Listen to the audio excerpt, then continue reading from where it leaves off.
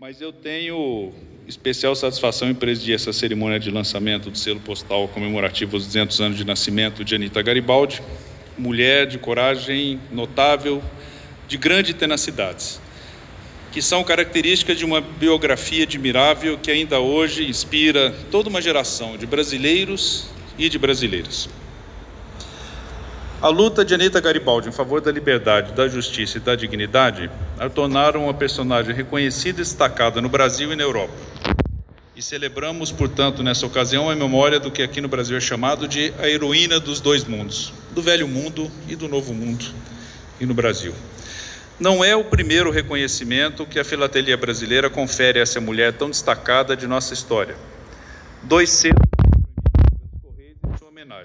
primeiro, em 1967, no âmbito de coleção dedicada a mulheres ilustres do Brasil.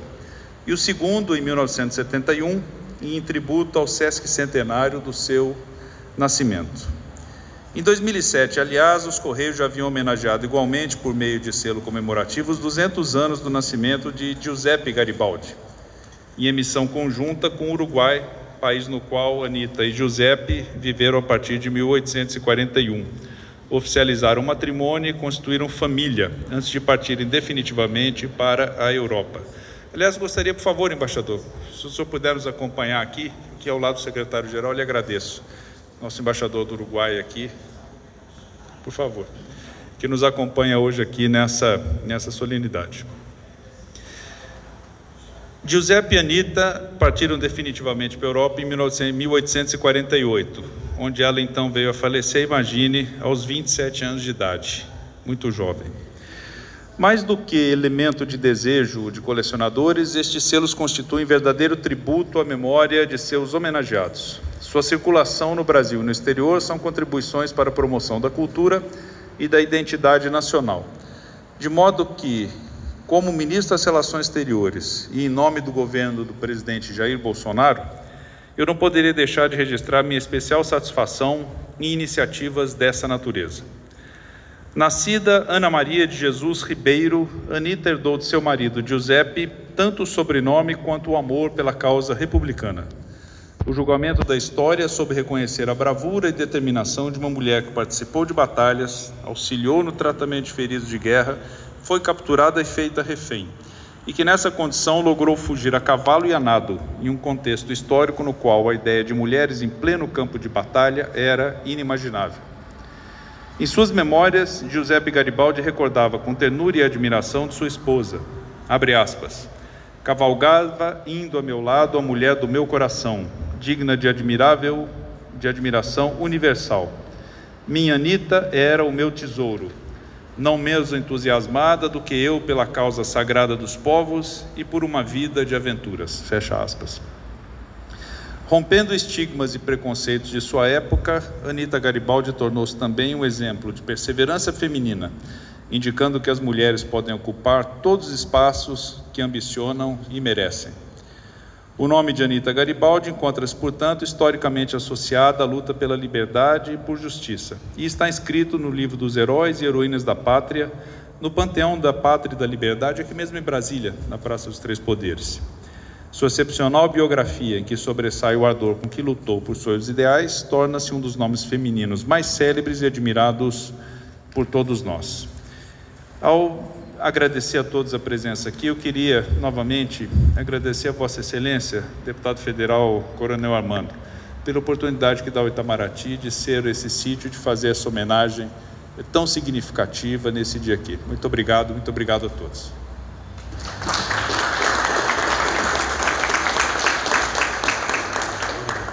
Neste momento, fará uso da palavra o deputado federal Coronel Armando.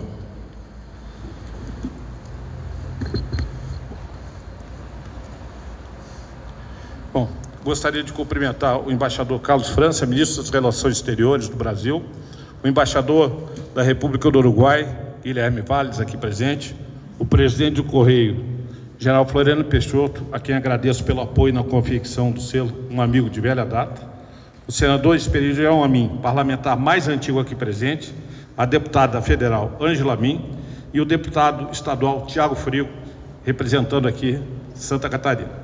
Os prefeitos e representantes dos municípios de Santa Catarina e Rio Grande do Sul, onde Anitta Garibaldi teve passagem histórica, destacando representante da Prefeitura de Laguna, cidade onde nasceu Anitta Garibaldi, vice-prefeito Rogério e o prefeito de Mostarda, Moisés, aqui também presente.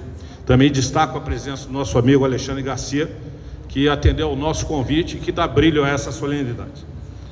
Também destaco ainda o presidente da Fundação Catarinense de Cultura, Edson, aqui representando o governo de Santa Catarina, e o senhor Adilson Cadorim, diretor do Instituto Anita Garibaldi, historiador e maior incentivador da memória dos feitos de Anita Garibaldi no Brasil e a todas as outras pessoas do Brasil, Uruguai, Itália e República de San Marino que estão participando das comemorações do bicentenário.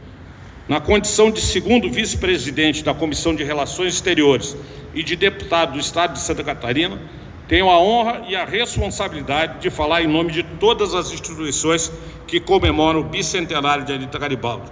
Destaque especial as prefeituras de Laguna e Tubarão, onde Anitta iniciou sua jornada, o Instituto Cultural Anitta Garibaldi, com sede em Laguna, que se dedica há mais de 20 anos à preservação, valorização e divulgação da saga e dos valores que nos foram legados pela heroína. Gostaria de ressaltar a importância da participação do governo federal no evento, por meio do Ministério das Relações Exteriores, dos Correios e da Casa da Moeda, por ser este um momento importante para a história nacional e dos governos da Itália, Uruguai e República de San Marino, que prestam homenagem à memória desta ilustre brasileira. Um selo do bicentenário também está sendo lançado nesses países. Antes, falar, antes de falar de Anitta Garibaldi, Garibaldi, falarei um pouco dos laços que nos unem à Itália. E como militar, não poderia deixar de citar a participação da Força Expedicionária Brasileira na campanha da Itália na Segunda Guerra Mundial, onde combatemos o nazifascismo para ajudar na libertação daquele país. Mas o dia 30 de agosto é dedicado a Anitta Garibaldi, que 200 anos atrás nascia na pacata vila de Santo Antônio dos Anjos de Laguna uma mulher que se tornaria um dos mais corajosos vultos femininos mundial. Ana Maria de Jesus Ribeiro, a Anitta Garibaldi, como ficou internacionalmente conhecida. Foi e é, até nossos dias, um exemplo de coragem que demonstrou nos diversos combates que enfrentou, de crença e determinação com que buscou seus ideais, sem jamais macular sua paixão ao homem que amou e o zelo e a educação dos seus filhos, seus filhos. Mas sem dúvida alguma, foi pela defesa da causa republicana que ela se imortalizou. Na história universal não encontraremos nenhum registro de vulto feminino que tenha pegado em armas para defender os ideais republicanos em dois continentes distantes e diferentes. Anita Garibaldi lutou em defesa da instituição de quatro repúblicas: a República Catarinense, a República Rio Grandense, a República Uruguaia e a República Romana. Em suas lutas no Brasil, Anitta antecedeu exatamente 50 anos a instauração do regime republicano, instituído no país em 1889. Morreu na Itália em 1849, quase ao completar 28 anos. Ela nasceu, em, ela morreu em 4 de agosto. Faltavam só 26 dias para completar os 28. Grávida do quinto filho, pouco mais de duas décadas antes da Itália ser unificada pelos seus feitos na Itália, Anitta é considerada a mãe da pátria italiana e foi inscrita no Panteão dos Heróis daquele país e também no Panteão dos Heróis do Brasil, onde é uma das 49 personalidades homenageadas. Seus restos mortais estão guardados em Roma, na colina do Gianicolo, no, no monumento do escultor Rutelli, que em 1932 a imortalizou e onde foi sepultada pela sétima vez, em virtude do que representava para a Itália, que a queria na sua capital. Em razão de ser a mãe da República Italiana e da valorização que tem na Itália, seus restos mortais não puderam ser repatriados para o Brasil. Por todos esses fatos, considerando que seu nome está inscrito no Panteão dos Heróis Nacionais do Brasil e da Itália, em nome do Instituto Cultural Anita Garibaldi, em nome de Laguna, de Santa Catarina, em nome de todos que conhecem sua trajetória heróica, nos propusemos a solicitar ao Correio a confecção desse selo, um reconhecimento à sua história e à sua, e à sua luta em prol da República e da liberdade. Temos que honrar a memória desta que é a maior heroína nacional, a precursora do, do movimento revolucionário republicano.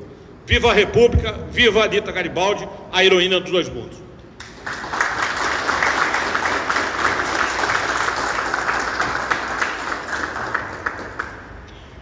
Convidamos o presidente dos Correios a se posicionar à frente da mesa de obliteração. Neste momento, o presidente dos Correios convida o deputado federal Coronel Armando para a primeira obliteração do selo comemorativo alusivo ao bicentenário de Anita Garibaldi.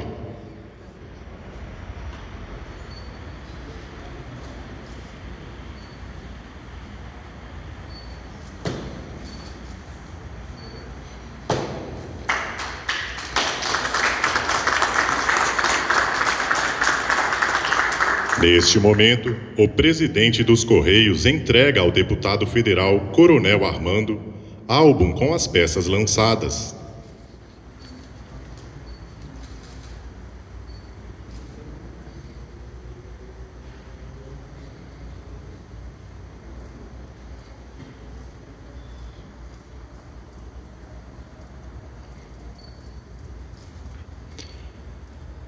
Neste momento, o presidente dos Correios convida o embaixador Carlos Alberto Franco França, ministro de Estado das Relações Exteriores, para a próxima obliteração do selo comemorativo alusivo ao bicentenário de Anita Garibaldi.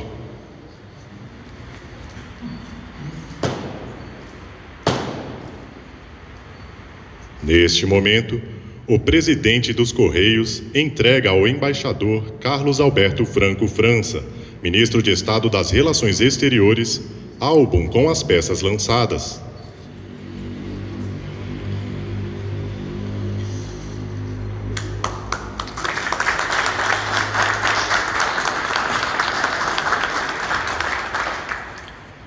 Está encerrada esta cerimônia.